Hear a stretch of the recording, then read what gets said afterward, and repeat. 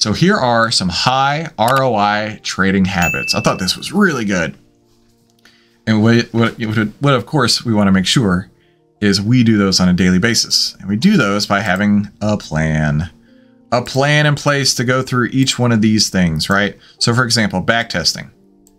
You've got to backtest, right? In this outlier trading strategy we're doing, we're actually doing two backtests. One of them is TrendSpider. One of them is the outlier signals. And so let me give you a brief demonstration of what that looks like. So like KRE, just pick one at random. Since we're talking financial sector, this has only three signals in the last year on um, on Outlier. Two out of three of the winners, right? But I could even come up to here and do Outlier Theory Short. And we're just saying, you know, with the MACD cross down and the 10 period cross down, what does that look like? It looks like it's still loading. Let's go to a different one real quick.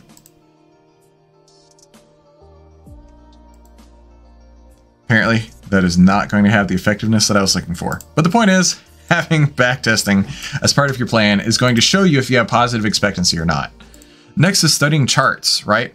Part of the backtesting is saying, okay, well, if this has worked historically in the past, there's our backtest showing, and I want to make sure that this is going to work, well, not, not necessarily make sure, but have a positive, um, positive expectancy that's going to go forward, what has happened, right? So you got to study those charts and see what it is.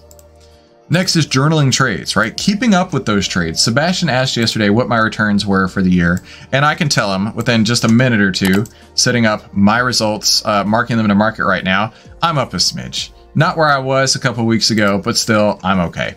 Uh, next in the whole R high ROI trading habits is thinking of probabilities. And I mentioned that a lot yesterday on yesterday's stream. If you go back, it's like, given enough instances, your edge should play out, right? Enough instances is the key here. One trade to the next, we don't know if it's going to be a winner. We don't know if it's going to be a loser. We don't necessarily know how big or how small that's going to be. But over one trade, it's very random. Over 10 trades, less random. Over 100 or 1,000 trades, it starts to really level off and you see exactly what those edges play out to be.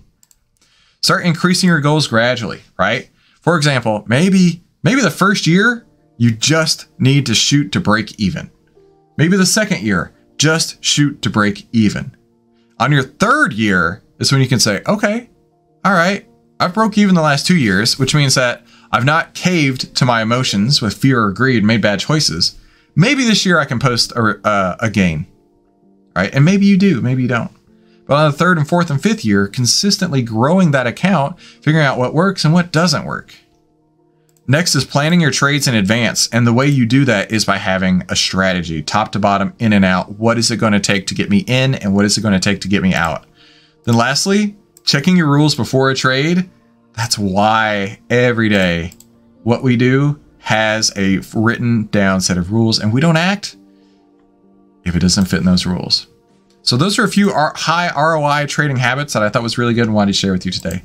Have a fantastic afternoon, and I'll see you right back here tomorrow. Talk soon.